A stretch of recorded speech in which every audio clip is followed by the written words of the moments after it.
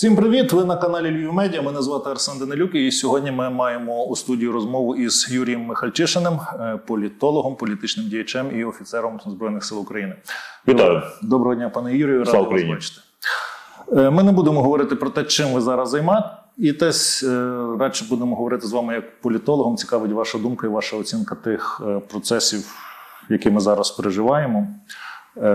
Давайте, може, почнемо з 24 лютого минулого вже року. Е, Я тоді пригадую, коли все почалося, то було дуже багато різних емоцій, але також е, було таке відчуття, що сталося те, що мало статися вже давно.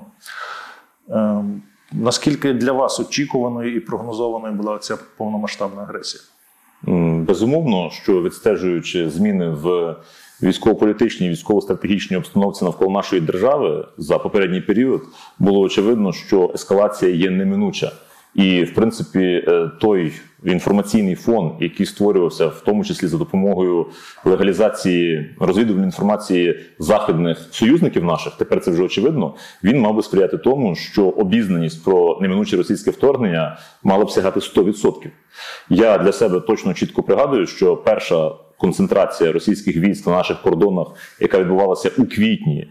е, 2021 року Так-так. вже була чітким індикатором того, що е, формуються в принципі всі передумови для наступу з різних азимутів, і це не обмежиться зоною операції об'єднаних сил чи, наприклад, проривом з Криму. Після того е, в форматі заходів прикриття чи дезінформації, очевидно, противник кількаразово зменшив концентрацію своїх сил, відводив їх, здійснював різні перегрупування, переміщення. Це все є нормальна практика для маскування справжніх намірів. Остаточно вже стало зрозуміло, що справа йде до е, гарячої розв'язки, особисто для мене в листопаді 2021 року. Тоді я мав нагоду на декількох телевізійних ефірах виступати, і я цю інформацію намагався озвучити, аргументувати, донести до ширшої аудиторії. Тоді у мене була полеміка е, системна з народним депутатом від Слуги народу, паном Максимом Бужанським, який е, стверджував, у нас небагато було різних е, точок розбіжностей і концептуальних в першу чергу, але він стверджував, що агресія неможлива, тому що, начебто, в 21 столітті війни ведуться не за території, не за людей, а за ринки. І тоді, мовляв, за такою логікою жодна війна є невигідна путінському режиму. Ну для мене було очевидно, що це е, некоректно, що це не відповідає дійсності. Очевидно було, що мова йде не про е, навіть. Російсько-українську війну, а мова йде про війну за реставрацію російсько-радянської імперії. От якщо війна гібридна, то в даному випадку вона гібридна в тому, що проти нас воює і СРСР, і Російська імперія, і Російська Федерація. І таким чином я можу сказати, що е, намагаючись це аргументувати, наводив і факти, і давав якісь прогнози. Е, Я був тут не один, звичайно, тут висловлювалося категорично і недвозначно, і уповноважені посадові особи нашого сектору безпеки та оборони. Задаємо інтерв'ю наших очільників спецслужб. Е, Я маю на увазі справжніх спецслужб, так а не тих, які зараз перебувають невідомо де, маю на увазі нашу воєнну розвідку. А тоді від неї звучав основний потік інформації про противника, і наміри були чіткі і абсолютно зрозумілі. Тому так логічно сталося, що зима 2022 року е, була приречена стати для України гарячою. Чи повернутися ще трохи в минуле? Ви в 2014-му так доволі різко припинили публічну політичну діяльність і перейшли е, на державну службу, якщо не помиляюсь, в службі безпеки України. Так. були, Чи в 2014 році е, було розуміння, що цим конфліктом на Донбасі це не обмежиться, що треба вже готуватися до, до великої війни? Безумовно, і для мене досі залишається загадковою логіка противника, тому що передумови для повномасштабного вторгнення по всій ширині російсько-українського кордону навесні 2014 року були значно сприятливіші для агресивних планів аніж у лютому 2000 22-го. Е, мова йде про те, що е, багаторічна демілітаризація українських збройних сил дала свої результати. Розстановка кадрів агресора на ключові посади в безпековому секторі України. Згадаємо, у нас російськими громадянами і російськими шпигунами е, було нафаршировано Міністерство оборони Саламатін. Служб... Здається, був. Соломатін, пізніше Лєбідів. Ми ведемо мову про службу безпеки України.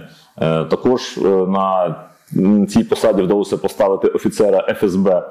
І е, немає нічого дивного в тому, що росіяни могли б очікувати тут на повний параліч. Ну і звичайно, суспільно-політична дестабілізація після е, революційної ситуації дуже тяжко е, очікувати на е, встановлення легітимної, ефективної і стабільної влади. Але це вдалося зробити за деякий час. І тому мені було очевидно, що 2014 рік міг виявитися значно драматичнішим, навіть трагічнішим для України, аніж він виявився. А те, що війна неминуча і вона припаде на наш час, особисто для мене стало зрозуміло у 2008 році. Е, Після агресії 8 серпня проти Грузії це було зрозуміло, що мова йде знову ж таки не про локальний конфлікт, не про Кавказ, не про сфери впливу. Мова йде про реставрацію Російської імперії. Не Тбілісі, а Тіфліс. Пізніше розуміємо не Таллін, а Ревель. Не Хельсінкі, а Гельсінгфорс. Відповідно, не Київ, а Киев. Ось така логіка російського агресора. І ми не повинні забувати, що до 1915 року в межах Російської імперії перебувало, наприклад, місто Варшава. Тобто засяг їхніх амбіцій, ну як для людини, яка просто вивчає історію збройних конфліктів минулого, він є очевидним. Власне, я недавно читав книжку. Джордж Фрідман е, зробив такий прогноз на 21 століття. Він там спрогнозував, що наступний великий конфлікт буде саме у східній Європі. Тобто він спрогнозував правильно, але він трохи помилився з місцем цього конфлікту. Він очікував, що буде війна на території Польщі, Латвії, Литви, Естонії. Північний фланг цього фронту, який, до речі, ще може і виникнути. Е, Не будьмо е, надмірними, скажімо, утопістами. Він там власне писав, що Україна, на його думку, Україна визнає політичну зверхність Росії і в цьому конфлікті буде російським союзником. Я спочатку образився на, на автора, але потім подивився, що книжка була написана в 2010 році, коли президентом був Янукович, прем'єр-міністром Азаров. Ну і я подумав, що якби автор почекав ще 4 роки, то він би, напевно, інший вже прогноз писав. Ем, На вашу думку, що власне змінилося от з 2010 по 2014 рік, і чому Україна вибрала іншу сторону цього цивілізаційного конфлікту? Безумовно, попри будь-який вибір е, еліт, е, українська нація залишається питомо європейською. Тобто мова не йде про зміну геополітичного вектора, який одночасно переформатовує масові настрої. У нас це неможливо. От е, той процес етногенезу на наших теренах, який е, спостерігався в пізньому середньовіччі, пізніше в ранній новий час, феномен виникнення українського козацтва, це просто унеможливлює тут е, деспотію, абсолютизм і побудову не те, що тоталітарного, а навіть е, успішного авторитарного режиму, який нав'язаний ззовні, насаджений згори. І е, немає жодних сумнівів в тому, що е, подібна історія могла би трапитися будь-де, але не в Україні. Е, і те, що наше місце для багатьох західних теоретиків, аналітиків описувалось десь на периферії Європи, це проблема не України і не українців, це проблема їхньої методології, їхнього мислення, їхньої зашореності. Я до речі, хочу нагадати, що дуже популярні на заході за останні роки інтелектуали, експерти з усіх питань виявилися неспроможні спрогнозувати ані російсько-українську війну, ані, наприклад, революцію гідності. Тут я маю намір назвати і Френсіса Фукуяму з його легендарним кінцем історії, згідно якого вже в 90-х роках мала бути побудована глобальна світова ліберальна демократія без воєн і конфліктів. Ну він потім визнав, що він помилився. Ну, безумовно. Але ж е, гроші він заробив на тому, що пропагував її кінець, а не на тому, що визнавав свої помилки. І він такий не один. Е, Власне, був міф, що е, південь України чи схід України залишається проросійським, і цей міф культувався і російською пропагандою. І таке враження, що російські політичні еліти повірили власній пропаганді.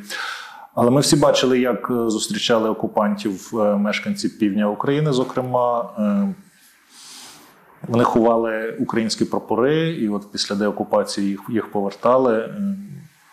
Як ви оцінюєте ту відповідь, яку дало на цю агресію українське суспільство?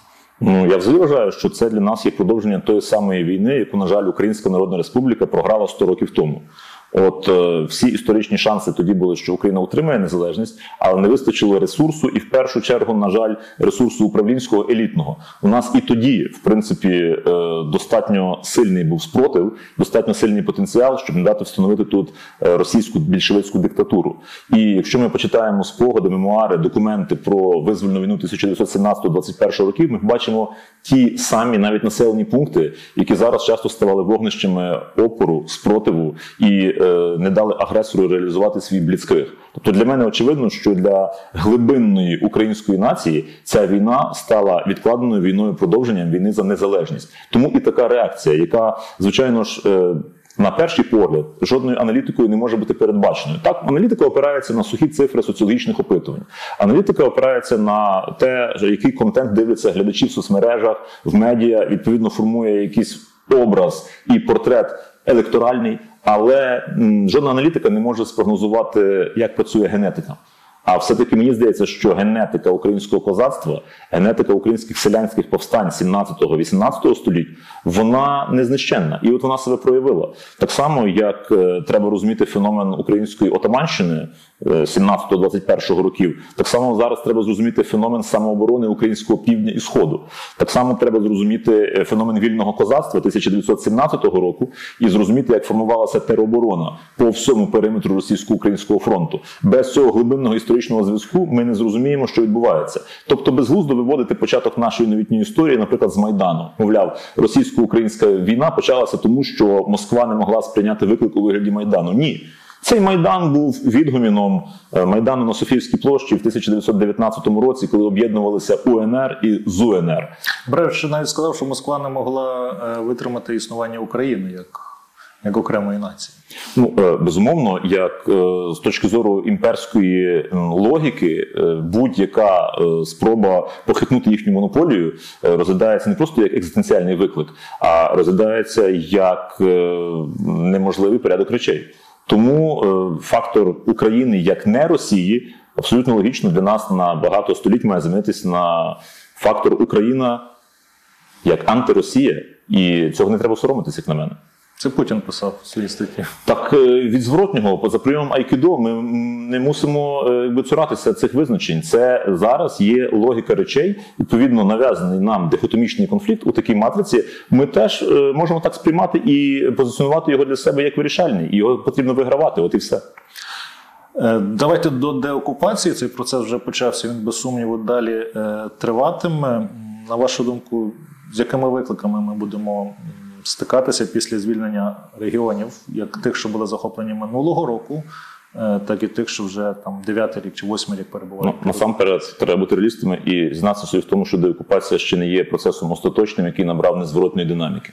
Так, визволено 40% території, захопленої агресором, але, на жаль, він однозначно готує нові наступальні операції і планує відвоювати ще не один український регіон. Звичайно, що сили оборони України будуть чинити цьому спротив і будуть проводити власні оборонні контрнаступальні операції, але мусимо брати до уваги те, що наступальний потенціал агресора не вичерпано, і більше того, в ході мобілізаційних заходів, які проводилися з кінця минулого року, і очевидно продовжуються зараз. е, Готується нова хвиля російського наступу, і відповідно треба зараз аналізувати досвід свіжої деокупації контексті підготовки до нової хвилі агресії ворога, щоб підготувати адекватні позиції для сил спротиву, щоб своєчасно не поставити під удар цивільне населення, здійснити його оповіщення, його евакуацію планову, а не якусь там, скажімо, екстремальну. І оце все зараз треба брати до уваги, маючи вже досвід як негативний весни м, 2022 року, так і позитивний української весни, літа, осені того ж самого року, який став роком найбільших українських перемог, починаючи з 1917-го, як би це не парадоксально звучало. Тобто, поки що рано думати про те, що нам робити з Донбасом, чи Безумовно, на думку, зараз е, вся увага повинна бути прикута до проведення стабілізаційних заходів, до оборонних операцій, які вичерпують е, наступальний потенціал агресора, який не відмовляється від планів зараз, як мінімум, вийти на адміністративні кордони Донецької і Луганської областей і таким чином е, закріпити за собою так звані території ДНР ЛНР, які він вже інкорпорував юридично у своїй схибленій парадигмі в межі Російської Федерації. Тому зараз мова має йти про те, щоб території звільнені від агресора е, можна було е, не те, що інтегрувати, вони залишалися інтегральною частиною України, але потрібно зараз там звернути увагу на підготовку до майбутніх бойових дій і оборонних операцій. Ну, варто пам'ятати, що вони ще в свою конституцію записали, що Запорізька і Херсонська область тепер їхні. Крім того, вони там проводитимуть мобілізаційні заходи, і в плані розгортання збройних сил Російської Федерації на е, наступні роки е, міністр оборони агресора чітко окреслив, що мають намір формувати три мотострілецькі дивізії на території, зокрема українських е, областей. Це маю на увазі Запорізьку та е, Херсонську. Е, Це абсолютно є чітким сигналом того, що агресор готується е, мобілізувати українських громадян, нелегітимно включених в склад громадян Російської Федерації, і використати їх в подальшому для ведення агресивних наступальних операцій. Тобто буде щось подібне, як е, те, що ми бачили на Луганщині на Донеччині, коли там просто чоловіків ловлять на вулиці, мобілізують і відправляють в м'ясорубку. Очевидно, противник готується саме до цього. Е, Гаразд, Е, як ви оцінюєте реакцію на, на цю війну з боку Європи, з боку е, Сполучених Штатів Америки? Пригадую, на початку е, небагато шансів нам давали, і навіть те озброєння, яке вони постачали перед початком агресії, воно було таке радше для партизанської війни. Зараз вони вже еволюціонували до якоїсь складнішої техніки. Ем, Багато хто не задоволений темпами цієї еволюції. Як ви до цього ставитесь? Не відкрию жодного секрету, коли скажу, що нас е, системно недооцінювали і відносили в розряд держав, е, які, ну м'яко кажучи, не зовсім успішні. І як би е, не звучала підбадьорливо риторика і офіціоз наших теперішніх партнерів і союзників, але нашими партнерами і союзниками вони стали в повному розумінні саме завдяки Збройним силам України, які вивели нашу державу на рівні позиції. Ми абсолютно урівняли свою вагову категорію в міжнародних відносинах за весну 2022 року. Бо до того, коли нам казали про наших союзників і партнерів, це все таки був більше аванс на майбутнє. Зараз це вже є реальність. Відтак нічого дивного, що е, стратеги західних демократій розцінювали перспективи ведення Україною бойових дій з точки зору максимально пролонгованого руху опору агресору і перетворення окупації України в непідйомний тягар, яким свого часу був для радянського союзу Афганістан. Взагалі, з часів холодної війни е, цей західний і східний блоки змагаються між собою в тому, хто кому влаштує більше В'єтнамів чи Афганістанів. І, е, власне кажучи, перехід до гібридних форм війни був зумовлений тим, що колись очільник радянського КДБ Андропов сказав, що війну в В'єтнамі виграють на вулицях Вашингтону. І справді протестний антивоєнний рух в Штатах він спричинив політичне рішення про виведення американських військ, припинення підтримки південного В'єтнаму. І, до речі, тут згадаємо лиховісну роль Генрі Кісінджера, який зараз, Ну, е, попри свій поважний вік, досі береться. Продукувати певні орієнтири і наративи е, майбутньої безпекової конфігурації світу, саме Генрі Кісінджер тоді був архітектором так званих мирних угод, які прирекли Південний В'єтнам і мільйони людей, там, які вірили в демократію, вірили там в вільний ринок, в свободу, рівність і братерство, прирекли їх на життя в комуністичному концтаборі. І це все заслуга Генрі Кісінджера.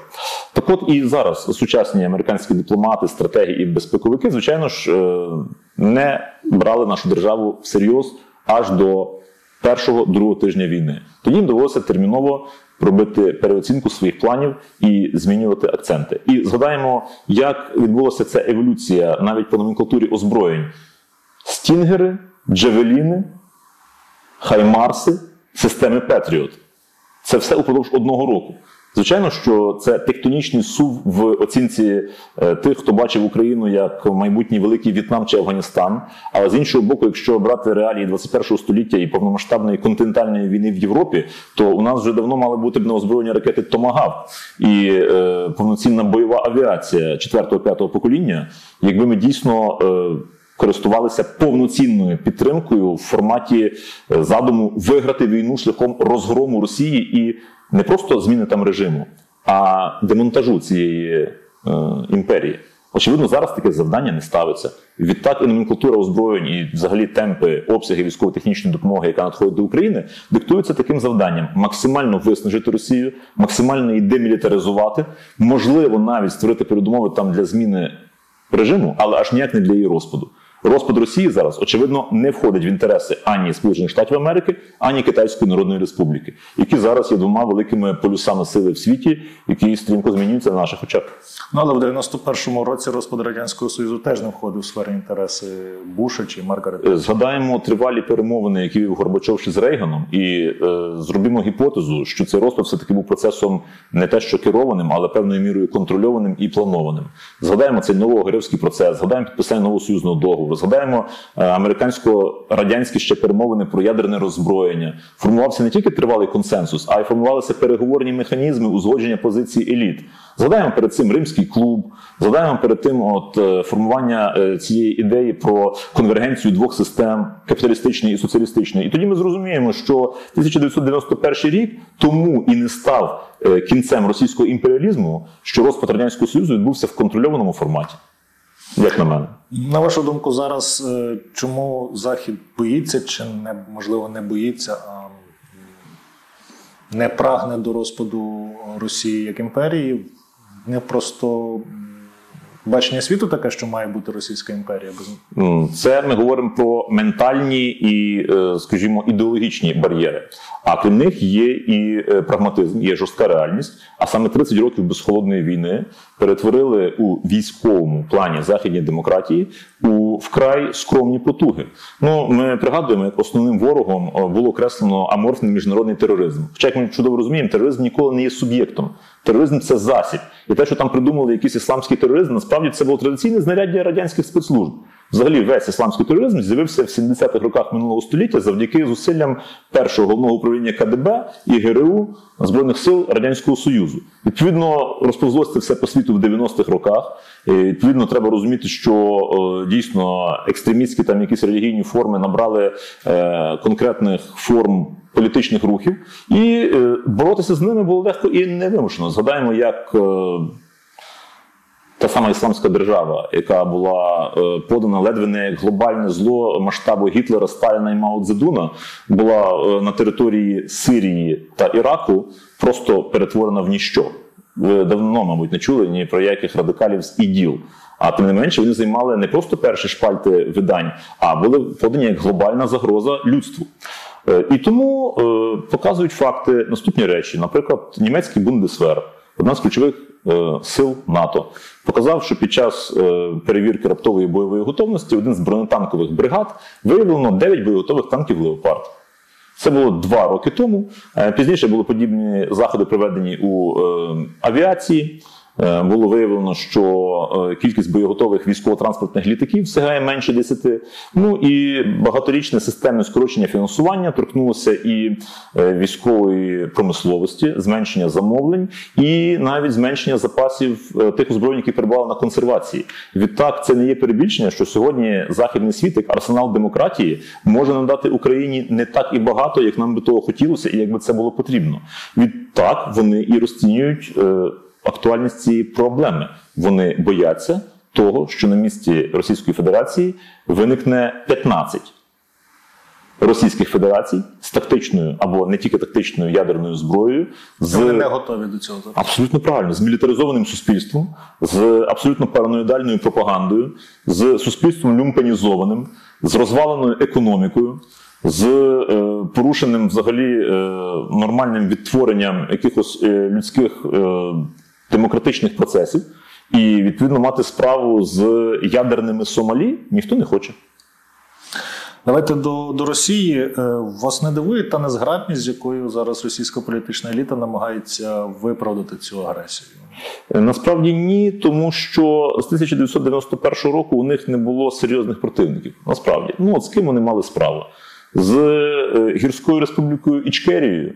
Ну, пам'ятаємо, це зайняло у них дві війни, це зайняло багатотисячні криваві втрати російських збройних сил, падіння міжнародного авторитету і іміджу Російської Федерації часів Єльцина, і, врешті-решт, кривава реінтеграція і перетворення Чечні в легітимізований кримінальний ісламсько-радикальний анклав в тілі самої Російської Федерації, інтеграція вчорашніх бандитів-бойовиків в російську політичну, кримінальну, економічну еліту. Самі росіяни жартують, що невідомо ще хто переміг.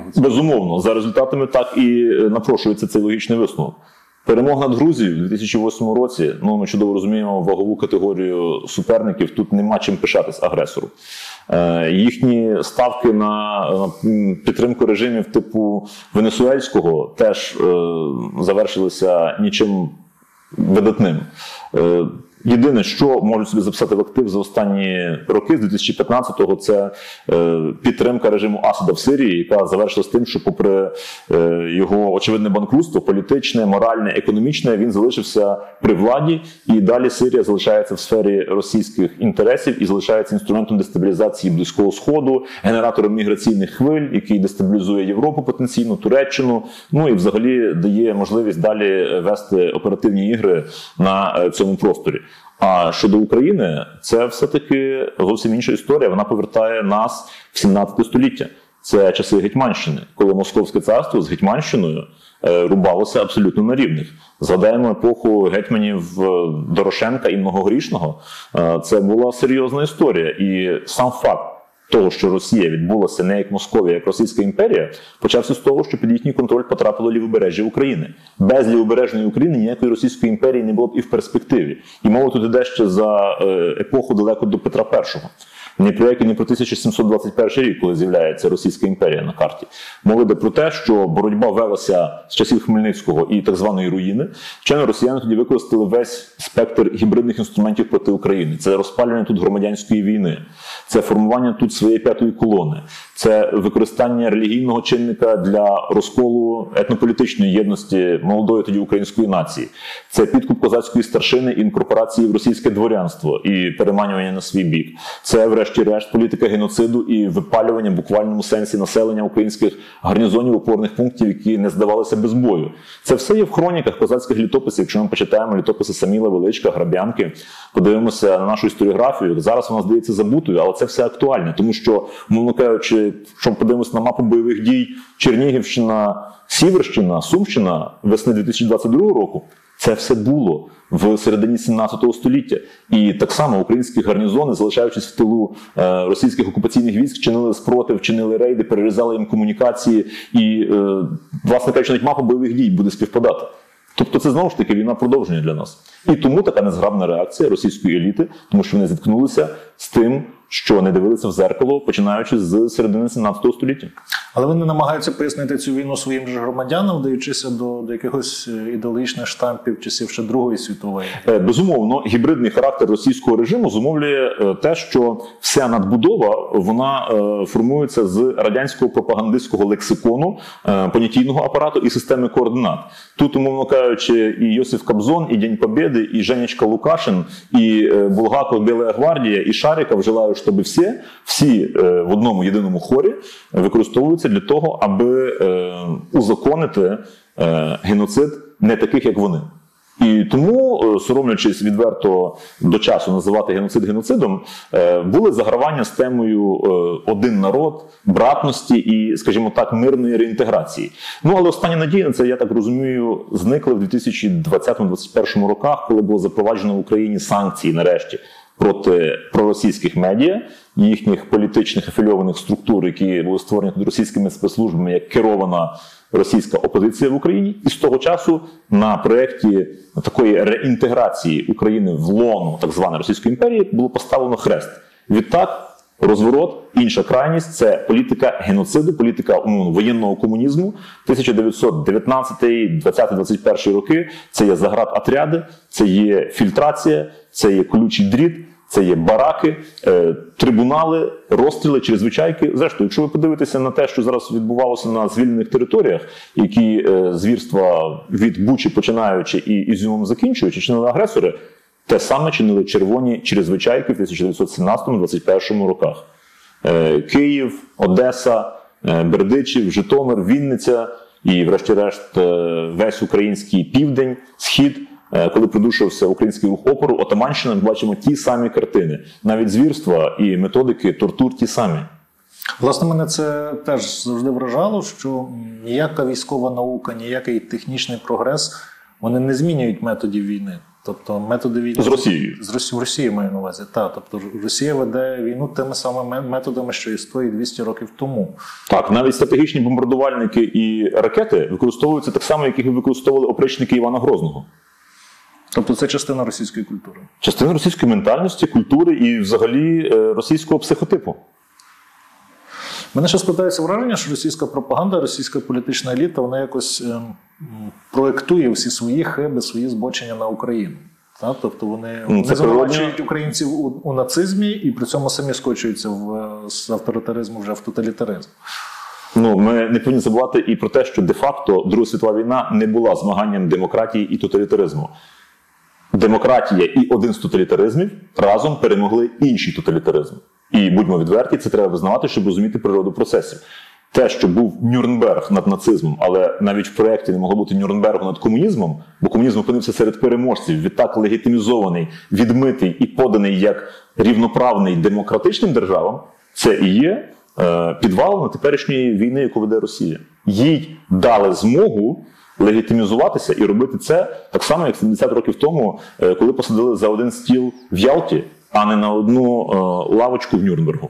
Це був компроміс. Так, і ціна цього компромісу, на жаль, це мільйони загублених життів. І цей компроміс є на моральному сумлінні держав Заходу і західних демократій. Вони і досі цього не хочуть визнавати. Тому то і така е, логіка, і такий то, е, скажімо, виднокіл російської пропаганди. Вони по-своєму вбачають це саме так.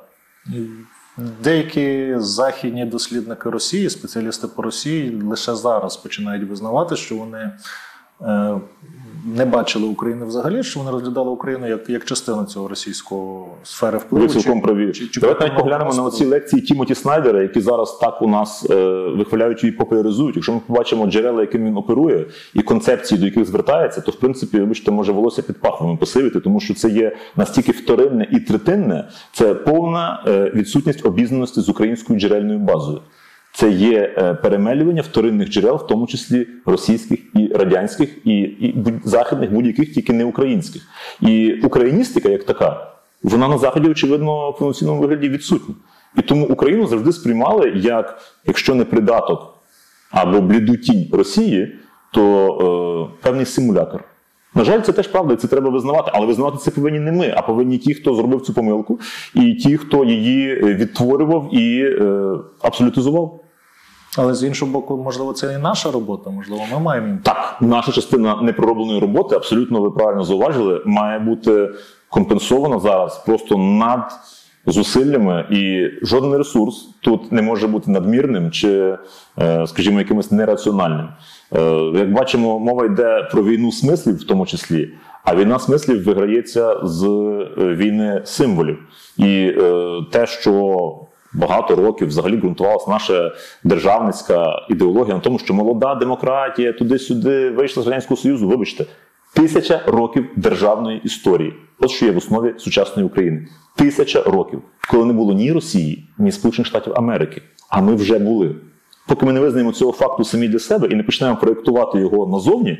Ну, ми не можемо говорити про якусь успішну українську пропаганду і про адекватне бачення нас державами заходу.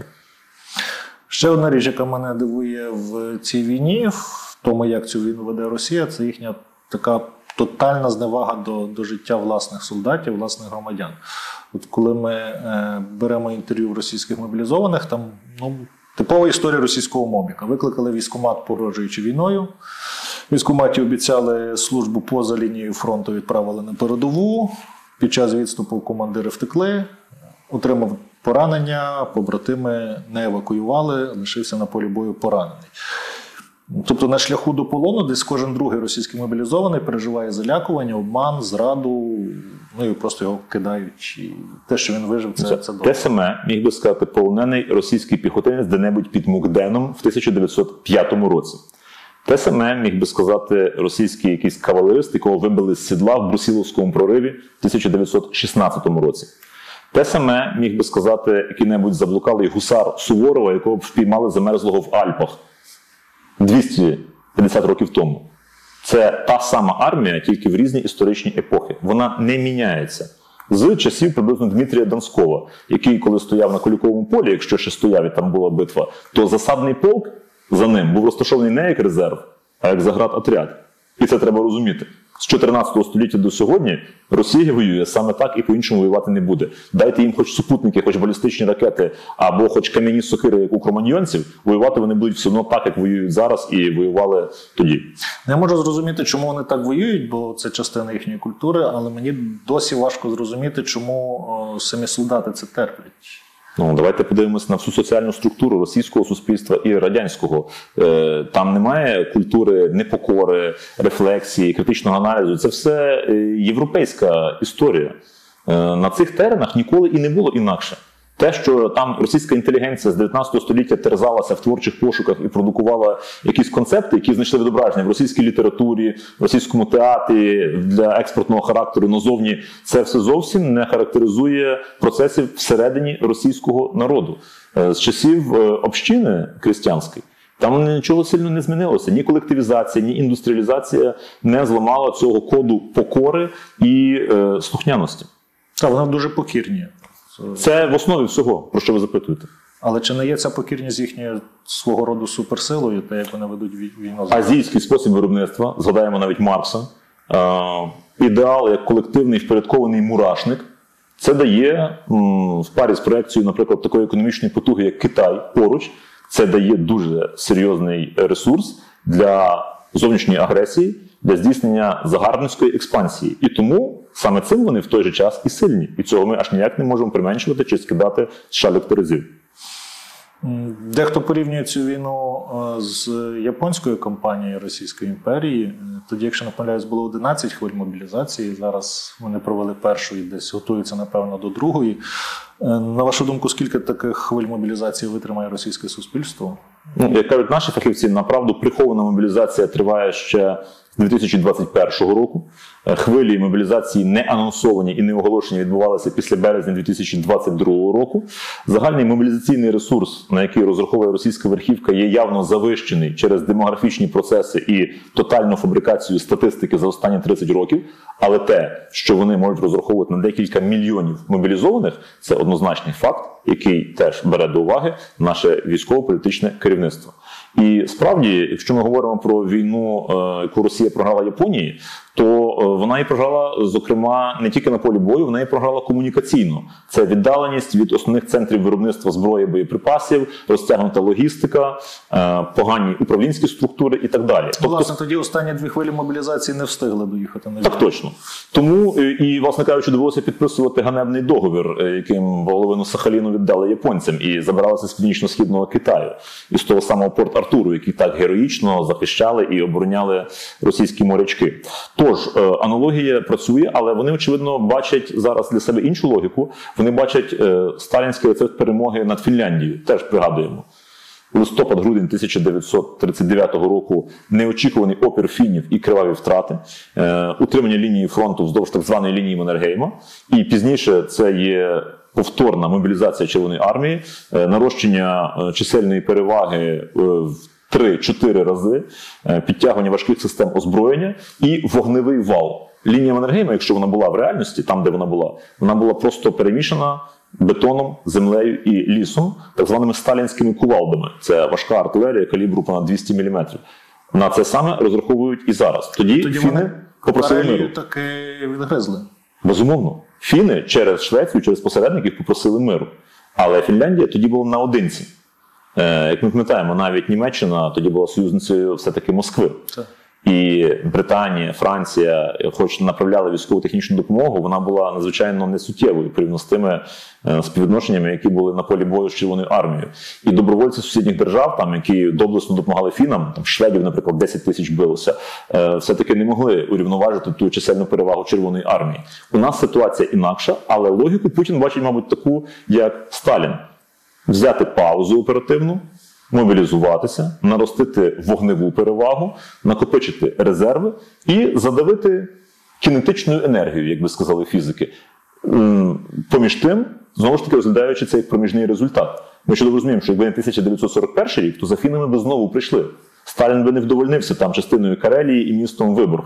Е, За фінами би прийшли в 41-му, 42-му, 43-му роках. Так само і Путін розраховує в кращому випадку прийти за нами опісля через невелику оперативну паузу.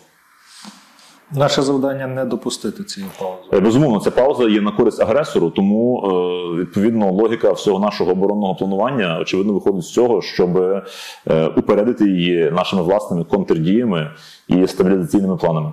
І зважаючи на ту покірність російської нації, про яку ми говорили, сподіватися на якусь революцію чи якусь е, суспільну політичну нестабільність всередині Росії нам не варто. Бачите, тут завжди е, спливає в пам'яті 1917 рік, е, так звана лютнева революція в Росії. Ну, е, якщо не забирати багато часу, то просто нагадаю, що зробили її ті, хто не хотів іти на фронт. Тобто кадрова російська армія була десь е, вже до 1916 року похована. Е, Апогей це Брусиловський прорив, який там легендарний, непереможний, унікальний в історії, але після нього е, кадрове ядро російської армії було вибите. І імператорська гвардія, яка могла легко так от загасити будь-яку революцію, знайшла свою могилу, до речі, в Волинських лісах е, на нашій українській території, на річці Стохід. І от е, 1917 рік це не революція народних мас, це змова армійського генералітету, думських політиків, олігархів, орієнтованих на західний капітал, які фінансували всю війну, і використана кінетична енергія голодних городян Петрограда, проти яких виставили немотивовані тилові запасні полки, що мали неодмінно вирушити на фронт. І от вам формула російської революції: змова верхівки, об'єктивне незадоволення і е, бідуюче становище народу, і небажання великої частини збройних сил воювати у війні, в якій вони не бачать сенсу. Оце були складові російської революції. Чи можемо ми зараз такі компоненти побачити? Я їх поки що в осяжній перспективі не те, що разом, а навіть і поодинці не бачу. Ще рано, так? Це Безумовно, безумовно. військова поразка має 1917 рік. значно більшого масштабу. Так, тобто те, що тут нам на думку спадає, Брест-Литовський мир, коли Росію просто вкатали катком німецької австрійської армії і незначною допомогою сил Української центральної ради, які теж чинили опір і таким чином теж допомогли цьому процесу, то це однозначно нас ще чекає хіба у майбутньому. Це, до речі, цікава річ. Росія ж була по суті першою імперією, яка програла в Першій світовій війні. Так точно. Але в їхній історіографії вони ніколи не говорять, що Е, програла. Тому що вона була повністю відтиснута Другою світовою війною. Вона ж е, Велике Отечественне, тому що Першу світову російська ще імперська історіографія теж пробувала подати як Отечественною. За часів Миколи II це був офіційний термін. Вторая Отечественна. Перша була проти Наполеона, 1914 рік Вторая Отечественна, але зрозуміло було, що її назвали імперіалістичною війною радянські більшовицькі історики. Пізніше, через 30 років, взагалі її відкинули на задній план і замінили міфом про перемогу у великій вітчизняній війні. Тому вони над цим досвідом, до речі, не рефлексують, і в цьому теж є корінь небезпеки для них. Вони не враховують, що можуть зробити е, генерали, коли е, поїзд верховного головнокомандувача зупиняється на станції дно, дуже символічно. І е, генерали е, без пістолетів, але підходять до нього з документом і роблять пропозицію, від якої не можна відмовитися. І після того людина їде або в царське село, або їде в місто Тобольськ, і там якби підвальчик на неї очікує. Е, Гаразд, рано чи пізно, так розумію, що швидше пізно, ніж рано, але війна закінчиться. Яка модель подальшого співіснування України з Росією? Очевидно, що в теперішньому вигляді е, з Російською Федерацією ми співіснувати не можемо ніяк. Тобто е, слово Росія для нас повинно зникнути з ментальної карти, з карти політичної і частково з карти географічної. Нам потрібна дуже широка демілітаризована нейтральна смуга між нами і будь-якими державними утвореннями, які виникатимуть на цій території. Мова йде навіть не про 100 і навіть не про 300 кілометрів. От тому, ми кажучи, наше завдання повернути їх десь до 13-14 століття і от на тій смузі зафіксувати співвідношення сил. Це надзадача не тільки для України, а й для всієї західної цивілізації. Але західна цивілізація ще цього не розуміє. Абсолютно не усвідомлює і навіть е, злякається такої перспективи, якщо вона буде викладена в реалістичному досяжному форматі. Ну, я згадую українську приказку, очам страшно руки роблять. Так, і на це якраз розраховуємо, на це сподіваємося, цим і врешті-решт керуємося. Я дякую вам за розмову. Нагадаю, ми говорили е, про війну України та Росії із політологом, громадським діячем і офіцером Збройних сил України Юрієм Михальчишиним. Я також дякую усім, хто додивився це відео до кінця. Якщо вам сподобалось, тисніть лайк. Якщо маєте якісь зауваження, Пишіть їх у коментарях. Якщо ви ще не підписались на наш канал, то підписуйтесь. Тут вже є багато цікавого і буде ще більше.